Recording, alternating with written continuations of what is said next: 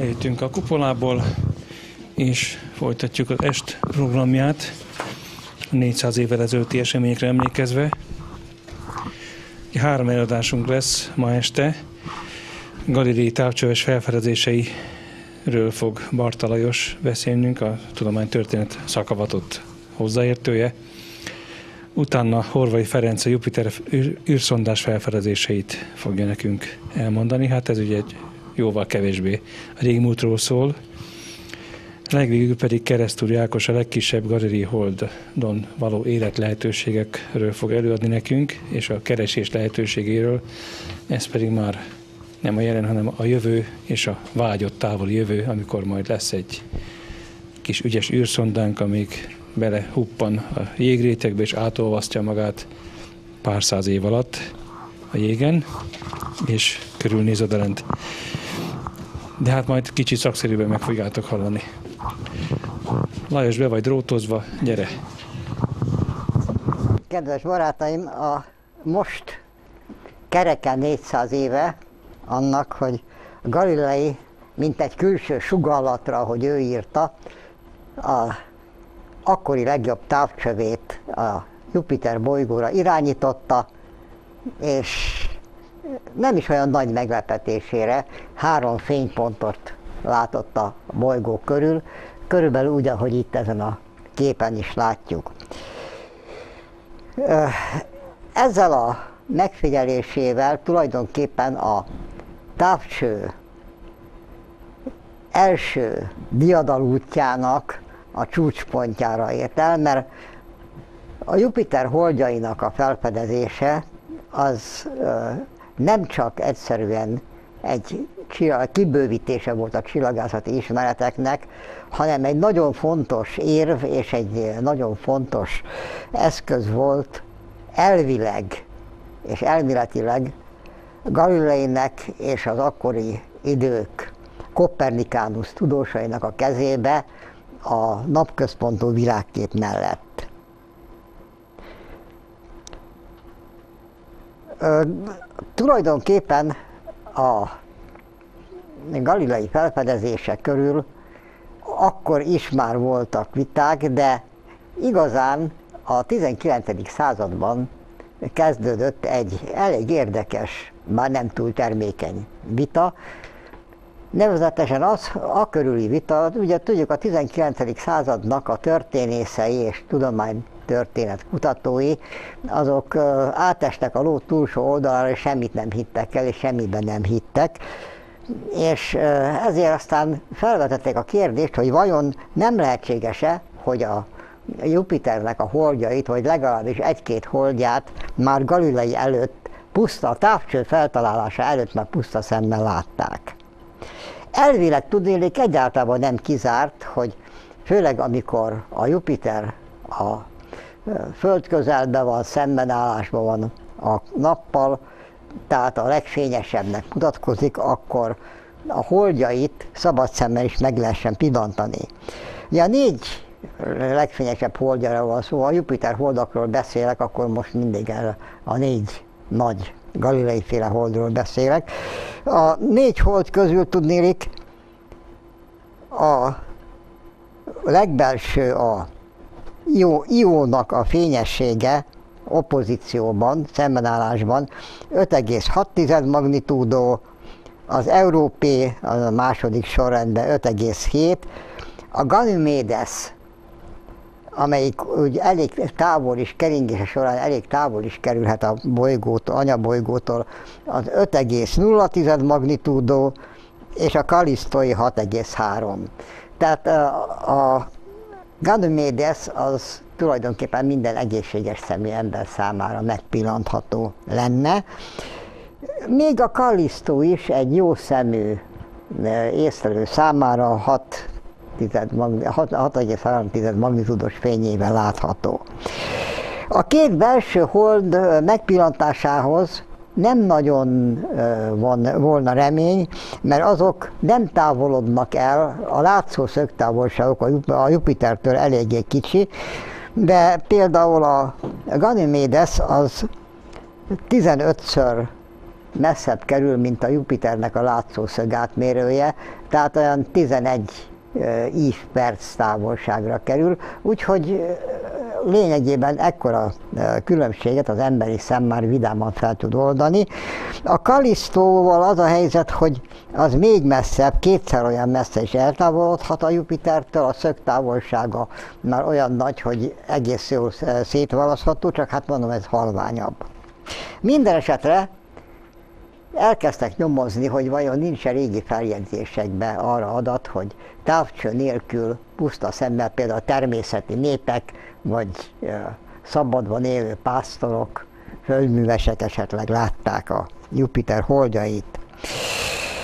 Nos, van, találtak egy-két adatot a régi iszlám, Mohamedán feljegyzésekben, hogy a Jupiter és valamilyen csillag egymás mellett látszott, de ezek nem voltak perdöntőek, mert elképzelhető, hogy valamelyik fényes állócsillag volt a Jupiter közelébe. Ennél sokkal döntőbb volt az, hogy egy eléggé megbízható és hitelesnek tűnő Szibéria kutató Ferdinand von Wrangel admirális. Az 1800-as évek elején Szibériában néprajzi adatgyűjtéseket is végzett az ottani vadászok körébe, és többek között feljegyezte, hogy az egyik ilyen ottani vadász azt mondta neki, hogy határozottan láttam, hogy a nagyobbik csillag, a Jupiter, elnyelte a kicsit, azután rövidesen kiköpte. Amikor a Wrangelnek a útinaplóját lefordították francia nyelvre, François Arago fizikus és csillagász rögtön odaírta egy jegyzetben, hogy hát ez valószínűleg az lehetett, hogy a Jupiter egyik holdját látta, a legnagyobb távol, eltávolodás idején külön látta, aztán, hogy közeledett a keringés során a bolygó, ugye elveszett a bolygó fényébe, tehát elnyelte, és aztán a másik oldalon megint szépen eltávolodott tőle, tehát megint kiköpte. Ez elég hiteles adatnak tűnik, és valószínűleg a harmadik számú holdnak a mozgására vonatkozik. Egy másik frissebb keletű gyűjtés az új-zélandi maorikra vonatkozik, akik közül egyesek határozottan azt mondták a néprajzi gyűjtőknek, hogy a Jupiter bolygónak vannak fiai. Amit úgy ér, is lehet értelmezni, hogy látnak egy vagy két holdacskát a bolygó közelébe. Meg kell azonban itt jegyeznem, hogy ezek az adatok igen érdekes néprajzi feljegyzések, és igen érdekesen szemléltetik azt, hogy az emberi szem körülbelül milyen feloldó képesség és milyen teljesítményre képes, de a tudománynak a fejlődését abszolút nem befolyásolta, mert végeredményben a európai csillagászok de még a kínai csillagászok, meg a hindu csillagászok sem nem hallgatták meg se a szibériai vadászoknak a meséit, se a maurikat meg nem is ismerték. Tehát gyakorlatilag nem hathatott ösztönzően a csillagászokra, hogy na most nézzük meg mi igaz ebből. Egy érdekes néprajzi adat, de semmiben se csökkenti a távcsöves csillagászoknak a teljesítményét, csupán érdekességként és esetleg akinek van kedve, az egy Jupiter oppozíciókor megpróbálhatja saját maga is megnézni, sőt örülnék is neki, ha akadna vállalkozó. Azért az a kérdés, hogy ki látta először a Jupiter holdjait, továbbra is nyitva maradt. Tudnélik, Galilei ezt a naplója alapján, és elég hitelesen állíthatjuk, Ugye 1610. január 7-én, tehát tényleg a mai napon, nap előtt 400 évvel fordította a távcsőjét a Jupiter felé. A, meg kell jegyezni, hogy az időpont eléggé kedvező volt, tudni, a Jupiternek a ö, szembenállása a Földdel 1609 végén, december 8-án következett be. A távolsága ekkor a Földtől 4,5 11 csillagászati egység, tehát 616 millió kilométer, kilométerre csökkent, magának a bolygó korongnak az átmérője pedig 48 ív másodperc volt, tehát éppen mondjuk egy kis jó akarattal már szabad szemmel is az ember azt mondta, hogy ez nem egy pontszerű csillagképe, hanem egy kis korongocska. Ebben az időben a távcsövet már használták néhányan, Galilein kívül is a világon. Többek között egy nagyon érdekes ember, a Brandenburgi, Brandenburg Ansbachi, Joachim Erne őrgróf udvari orvosa és csillagásza, bizonyos Simon Meyer de Gunzenhausen, akit egyébként Marius néven, latinosított néven szoktuk emlegetni, aki az, az ő urától, Ernő Örgróftól kapott már 1609 nyarán egy holland típusú távcsövet, és a később megjelent könyvében azt írja, hogy 1609. novemberében kezdte rendszeresen észlelni a Jupiter bolygó kísérőit, tehát több héttel megelőzte Galileit, mondják a németek. A pontos észlelést a bolygó holdjainak a helyzetéről 1609. december 29-én kezdte meg.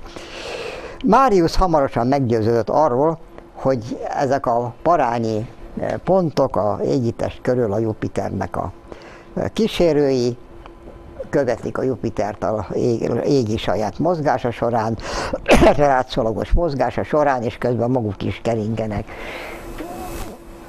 Mm, igen, azt hiszem ez az 1609-es, ugye? Itt körülbelül azt a helyzetet láthatjuk, ahogy a Simon Marius látta az első megfigyelése a december 29-i észlelés Hát persze a Jupiternek a sávjait nem látta, és azt majd 30 év múlva fogják csak felfedezni, de a holdakat, azokat egész szépen tudta látni, le is rajzolta, föl is egyezte, és gondosan figyelte azoknak a látszólagos elmozdulását a bolygó körül. Hamarosan arra a következtetésre jutott, hogy a Jupiter rendszere tulajdonképpen a naprendszer kicsinyített mása, de ezt azért ilyen határozottan nem merte leírni.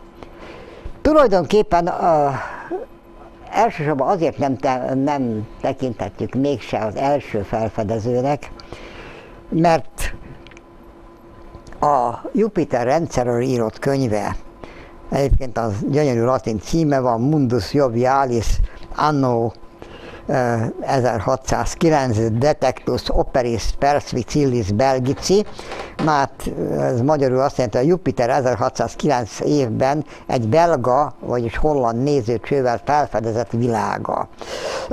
Ebben igen pontosan leírja a Jupiter holdak keringését, pontosabban, mint Galilei, ezt a tárgyilagosság kedvéért meg kell jegyeznem.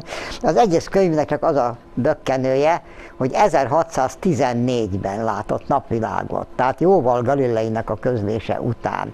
Tehát ez azt jelentette, hogy ő ugyan, Marius ugyan magánlevelekbe egy pár ismerősének, például Keplernek megírta, hogy a Jupiter körül látott valami érdekes jelenséget, de a könyv, amit az európai tudósok, vagy mondjuk a világ tudós társadalma tudomásul vehetett volna, az három évvel, illetve négy évvel Galileinek a könyvének a megjelenése után látott napvilágot, tehát nem tekinthetjük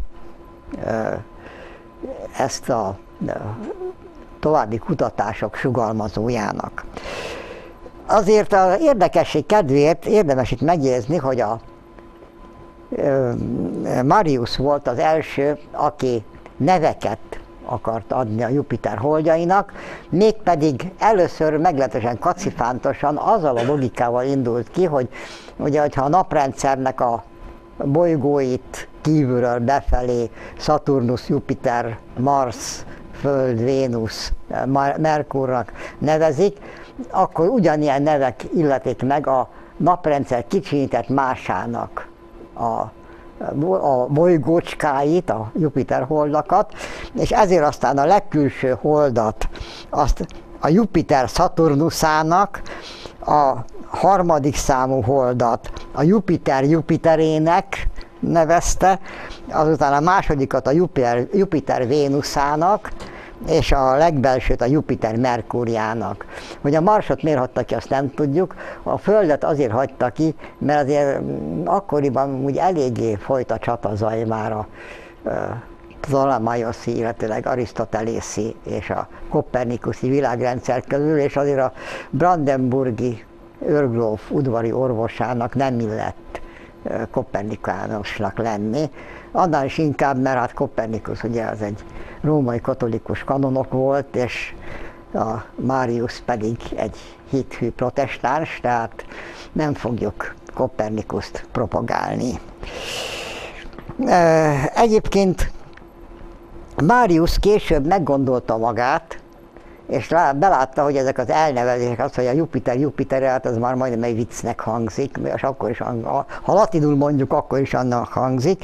Ezért azután amikor 1613-ban Regensburgban Keplerrel találkozott, akkor azt javasolta, hogy azokról a mitológiai személyekről nevezzék el a Jupiter holdjait, akik a főistennel, Zeusszal, vagy ugye a latinban Jupiterrel szerelmi viszonyba keveredtek, és így azután azzal indokol, az, azt javasolta, hogy a egyik holdat, a legbelsőt azt Iónak nevezzék el, Inachus folyamisten leánya volt egyébként, a, követ, a másikat azt a lükiai Kalisztoninfáról, a harmadikat egy fiúról egyébként, a szépség, szépséges Dardán királyfiról, Ganymédesnek. Hát mit csináljunk, Zeus homoszexuális volt.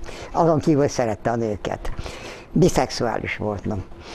És a negyediket pedig Európé királylányról, ugye Európé volt az, akiről, akit Zeus egy aranyszőrű bika képébe elrabolt, és elvitte Kréta szigetére ingyen és bérmentve, nem úgy, mint a mostani krétai kirándulók, hogy onnan nézzék a csillagos eget, hogy aztán mit néztek még, azt nem tudom.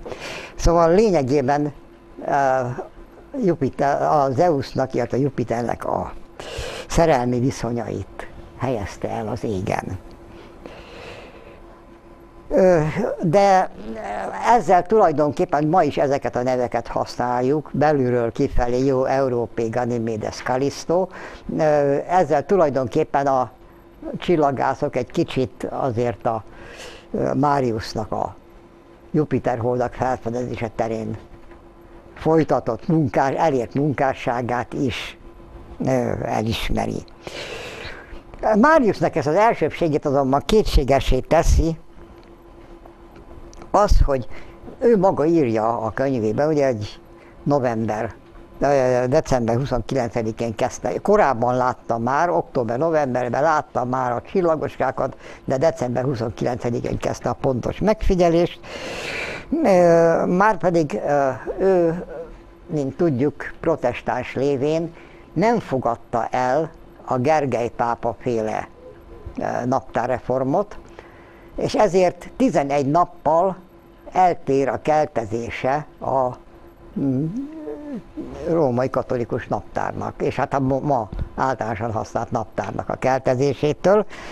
Ezért tulajdonképpen, hogyha a Máriusz féle december 29-et áttesszük a Gergely naptárba, akkor kiderül, hogy a római katolikus naptárban akkor már január 8-át írtak. Tehát egy nappal a Galilei után kezdte meg a rendszeres megfigyelést.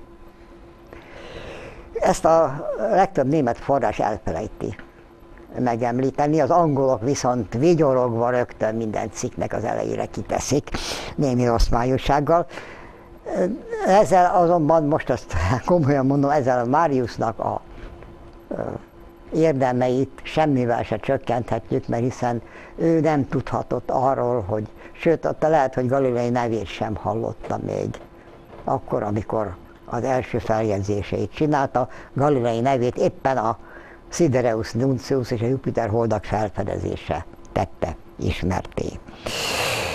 Minden esetre nem lehet elvitatni azt, hogy a Jupiter holdak egyik felfedezője az a Brandenburgi Simon Marius de Gunzenhausen volt.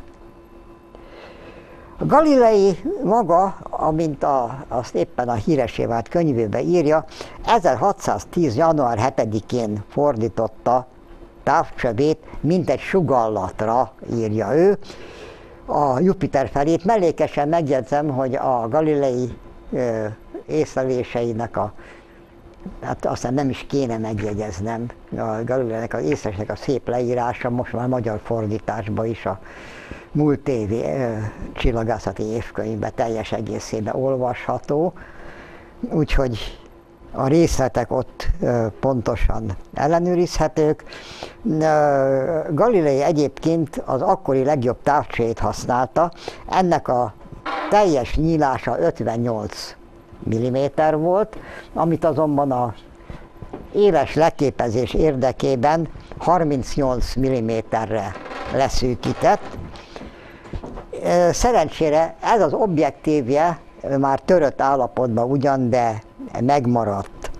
A gyújtó távolság, ezt már csak úgy mellékesen jegyzem meg, a emberi szem érzékenységének a csúcspontján a 550 mikrométeres hullámhosszon, sár, tehát sárgás-vörös fényben 1689 mm. Tehát egy másfél, jó másfél méter hosszú ö, tényleg dióverőt használt a Jupiter megfigyelésére, ez volt akkor a, az ő legnagyobb távcsöve. Egyébként nagyon jellemző a régi korok lencséjének a színi hibájára, tehát a leképezésnek a hibájára, hogy a kék színű fénysugarak és a vörös színű fénysugarak közt a gyújtótávolság különbség 4 cm tesz ki. Kék fényben 4 eh, cm-rel hosszabb a fókusza, mint vörös fényben. A,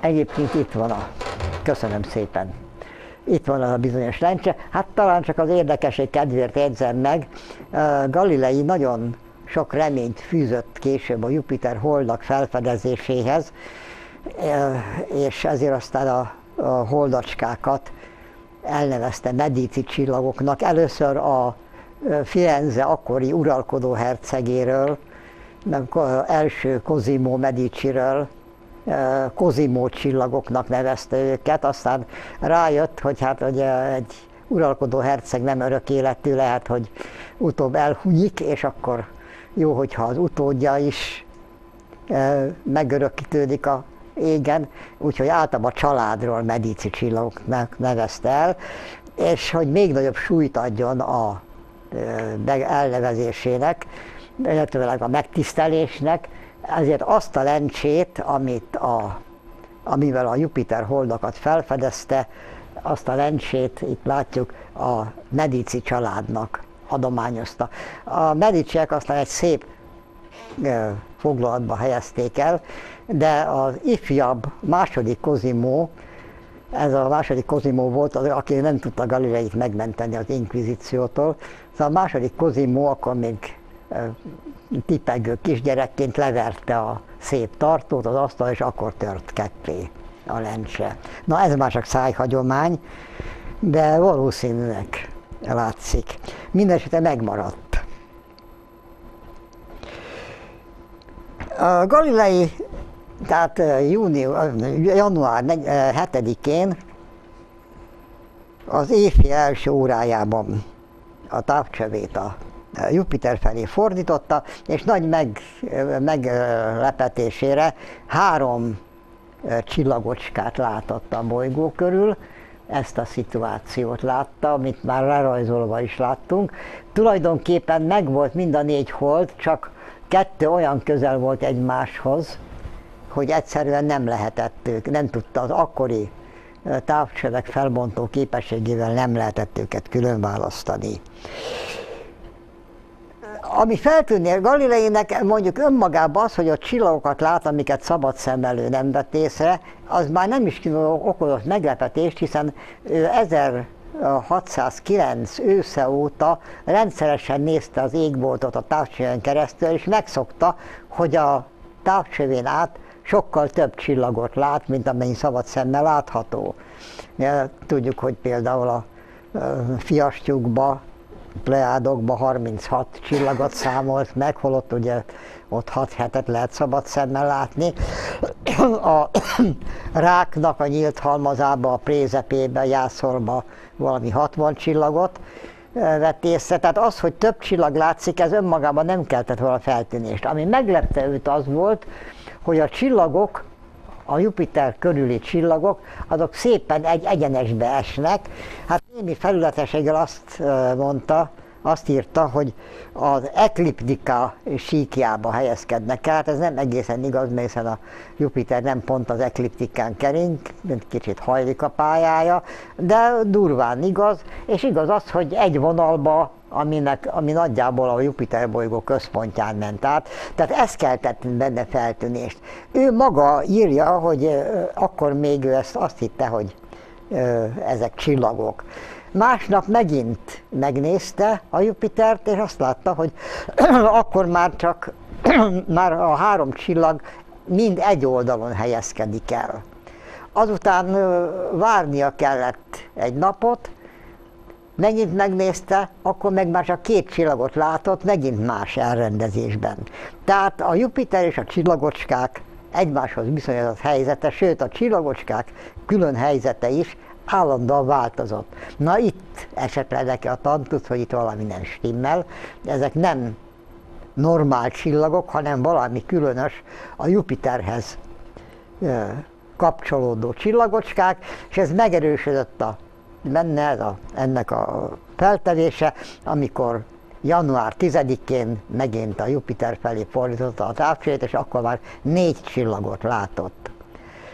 Akkor már, már rendszeresen kezdte figyelni és lerajzolni a helyzetüket, és rájött, hogy ezek a csillagocskák a Jupiter körül keringenek. Tehát lényegében az 1610. január 7-i első észlelésből kiindulva, körülbelül két hét alatt megállapította, hogy itt olyan égitestekről van, van szó, amelyek a Jupiter körül végzik a pályafutásokat. Tulajdonképpen már január 13-án arra következtetésre jutott, hogy egy önálló rendszert fedezett föl, amelyeknek a központja nem a Föld, de nem is a Nap, hanem a Jupiter. Hát a továbbiakban most már arra törekedett, hogy meghatározza ezeknek a Jupiter kísérőknek a keringését a anyabolygó körül, és uh, alig néhány uh, hetes vizsgálódás után elég tűrhetően, bár nem olyan pontosan, mint Marius, de ugye keringési időket is e, sikerült meghatározni. Egyébként megint csak ő maga nagyon becsületesen leírja, hogy még, még nincsen pontosan tisztában a keringési időkkel, de nagyjából már tudja. Valószínűleg ez adta a végső lökést, a Jupiter holdak felfedezése adta a végső lökést, hogy meglepően korán, már 1610 első hónapjaiba összeállítsa és sajtó alá bocsássa a Sidereus Nuncius, vagyis a csilloghírnök néven ismerté vált munkáját, amiről, mint tudjuk, ami egyébként a Sidereus Nunciusnak, hogy mennyire fontosak a Jupiter holdak és Galilei szempontjából milyen fontosak voltak, az mutatja, hogy a Sidereus Nunciusnak a fele az a Jupiter holdakról szól. Az összes többi távcsöves felfedezés és magának a távcsőnek a leírása is az a munkának az első felét teszi, a második fele az csak a Jupiter holdak keringéséről szól. Nos, némi uh, ravaszkodással, miután Galilei már ekkor, bár a, még a Velencei Köztársaság szolgálatába állt, mint egyetem matematika tanára, a Pádói Egyetem matematika tanára, de hát mindenáron szeretett volna ő a firenzei udvari eh, matematikus lenni. Ekkor történt az, hogy a eh, négy holdat Medici, Medici csillagoknak nevezte el, és a felfedezést, felfedező lencsét pedig a Medicieknek ajándékozta. Igen fontos azonban, és Galileit ez emeli ki a többi megfigyelő közül, hogy ő fölismerte pontosan, és le is írta ezeknek a holdacskáknak az elvi, hogy úgy mondjam, filozófiai jelentőségét. Magába a Sidereus Nunciusba csillaghírnökbe olvashatjuk, hogy ezen kívül nagyszerű és kiváló érvet ajánlok azok aggájaival szemben, akik a kopernikuszi rendszerben a bolygók napkörüli keringését eh, nyugodtan elfogadhatják. Kicsit bonyolult körmondat, tehát gyakorlatilag ez azt jelenti, hogy a kopernikuszi rendszer hívei számára ez egy eh, érv. Most már nem egyetlen bolygónak van, amely egy másik körül tud keringeni, tehát nem csak a mi Földünknek van holdja, miközben mind a kettő a napot egy nagy körön jár a körül, hanem érzékelésünk négy vándorló csillagot a Jupiter körül is eh, érz, eh, észlel, a Jupi, amelyek a Jupiterrel 12 év alatt egy nagy kört járnak körül a nap, a, a, nagy körbe járnak a nap körül. Tehát lényegében ez, ezzel ő azt akarja mondani, hogy a Föld nem a közepe minden égitestnek, hanem egyes égitesteknek lehet saját mellékrendszerük vagy alrendszerük. És ő is aztán kiemeli később a egyik levelébe, amit Marius is felismer, hogy a Jupiter rendszere az kicsített mása a naprendszernek, csak a Galilei annyival lép tovább, hogy ezt nyomatékosan hangsúlyozza, és hogy lám, ha Jupiternek van ilyen rendszer, akkor miért ne lehetne a napnak is hasonló rendszere. Lényegében tehát a Galilei megfigyeléseinek a jelentőség, egyik jelentősége az volt, hogy egy közvetett, de nagyon hatásos bizonyítékként szolgáltak az arisztoteleszi világképpel szemben, ugye, amely szerint a Föld a világ mindenség közepe, a Jupiter holdjai ezt a nézetet, ha közvetve is cáfolták. Galileinek a műve egyébként, a csillaghírnök egyébként egy a maga korában egy sikerkönyvnek számított. Az 500 példányba kinyomott, pontosabban 515 példányba kinyomott könyvet napok alatt elkapkodták, és még ugyanabban az évben kétszer is újra nyomtatták Velencébe és Nürnbergbe, tehát gyakorlatilag minden tudós emberhez eljutott. Ezért meglepő az, hogy az angol Thomas Harriot, aki maga, a maga korának talán egyik legjobb megfigyelő csillagásza volt, nem tudott Galilei és Máriusz felfedezését. Máriuszról nem is tudhatott, mert az csak évek múlva jelent meg, de Galilei felfedezéséről sem tudott.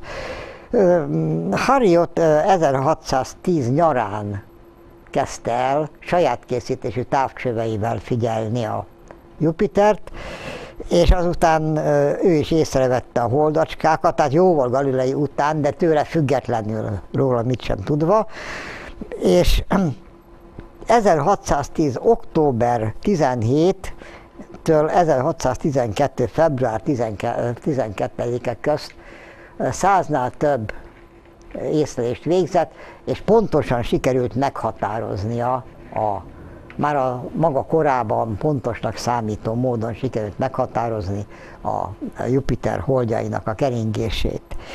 Egyébként Harriot ezeket a megfigyeléseit soha nem tette közé, néhány barátjának levélben írta meg, és azon kívül a 19. században, sőt, még 1930-ban is bukkantak angol levéltárakban és múzeumokban az ő feljegyzéseire. Mm, hogy miért volt ilyen hallgatag, ennek valószínűleg az lehetett az oka, hogy nagyon szépen induló karrierrel startolt. Ő volt az, aki egyébként Kanadának a keleti partvidékét először pontosan feltérképezte, és erről egy a maga korában híressé vált könyvet és térképet is közölt. Tulajdonképpen ő közölte Kanadának első, először a földrajzi leírását, mert a partvidék először földrajzi leírását.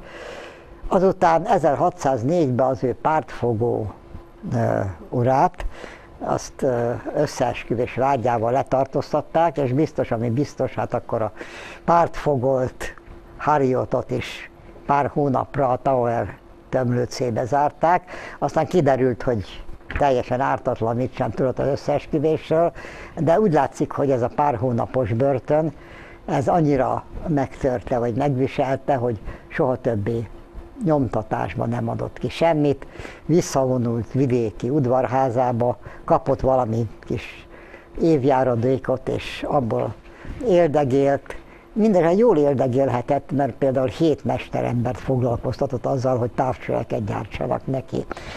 Úgyhogy, és a lencséket saját maga csiszolta. Talán Galilei távcsövének a lencséi mellett Harriotnak a lencséi voltak a legjobbak az 1610-es, 20-as években. Minden esetre a Galilei Muránói és Harriotnak az angol üvegei azok évekig messze felülmúlták azt, amit a, például a hollandok, vagy németek, vagy a franciák csinálták, csináltak. Szóval Harriot, ha volt is hatása, az inkább az angolokra volt, és főleg angol barátaira volt, tehát közel se volt olyan döntő fontosságú, mint, Gal- mint Galileinek a megfigyelése. Természetesen azonban már akkor is kitört a botrány Galilei körül, tudnélik, nem csak ő ismerte fel, hogy a Jupiter holdak azok, azt hiszem, hogy van még a kép, ja igen, a, a, a könyve, a Máriusznak a könyve, mint hogyha még benne lenne. De nem döntő, úgyhogy. Tudnélik, a filozófusok is, főleg az arisztoteliánus filozófusok, akik a szőrszálhasogatásban nagyon otthonosak voltak. Na hát ez a Simon, Simon Mariusnak a könyvet, csak ilyen kicsibe tudtam, nem tudtam jól ö, képet találni róla. Azt hiszem, na, még olvasható és hát itt látható, hogy 1614-ben, tehát jó Galilei után jelent meg. Minden esetben azért Máriusz megérdemel annyit, hogy az ő könyvének, hogy legalább a címlapját lássuk. Na, szóval Galilei felfedezéseit, és főleg a Jupiter holdjait az arisztoteliánus filozófusok rögtön ösztűz alá vették. Hát tudjuk, hogy az egyik egyébként vele nagyon jó kapcsolatban lévő páduai filozófus, az nem volt hajlandó belenézni a távcsőbe, hogy saját szemüleg lássa a Jupiter holdakat. Úgyhogy erre mondta Galilei némi gúnyjal, mikor meghalt a ez a filozófus barátja, hogy reméli, hogy miközben a lelke az égbe szállt, akkor mégiscsak meglátta a Jupiter kísérőit. De voltak nagyobb viták is, tudnélik az történt, hogy amikor Galilei tényleg a Medici család iránti lojalitása révén elnyerte a Firenzei udvari matematikusi címet, hát egyik jó, jó, jónak vélt távcsét a hón csapva egy körutazást csinált Firenze körül, körüli városokba, és ott minden tudós embernek be akarta mutatni az eget. És ekkor történt, hogy egy Martin Horki nevű, meglehetősen sötét jellemű egykori Kepler tanítvány, az azt írta Keplernek, hogy hát itt járt a Galilei úr, mutogatta a távcsövét, csodákat mesélt róla, a Földön valóban nagyon szépen látszanak dolgok, de a égen semmi újat nem mutat. Tehát gyakorlatilag Kepler előtt Martin Horki megfúrta a megpróbálta megfúrni a Galileit. Miután Keplernek jó tanítványa volt állítólag, Kepler zavarba került, hogy hát azért most kinek higgyen, Galileinek higgyen, aki végeredménybe állít valamit, vagy Horkinak, akit személyesen is ismert. Szerencsére azután kapott ő kölcsön, érdekes Galilei smucig alak volt, nem küldött soha Keplernek társat. 60 társat gyártott, vagy 30-at ajándékba szórt szét különböző hercegek és főpapok között, de a árva Keplernek egy árvaszál távcsövet nem tudott küldeni, de szerencsére kapott kölcsön egy csillagászati távcsövet, és azzal ő maga is meggyőződött arról, hogy valóban a Jupiter holdak léteznek, ezt meg is írt egy kis könyvbe, megerősítő a galilei felfedezését, és teljesen lejáratva, és a, hogy is mondta Orbán Viktor, az agyakba döngölve a, ezért, a földbe döngölve a Martin Horkit. Egyébként a Horki történethez talán érdemes hozzátenni, hogy a 19. században több életrajz, tudománytörténet és életrajzíró be akarta bizonyítani a neve alapján, hogy Martin Horki magyar volt. Ugye Horki, hát Y-nal pláne a végén, és hát ugye pont egy magyar volt, aki a Galileit be, be akarta feketíteni.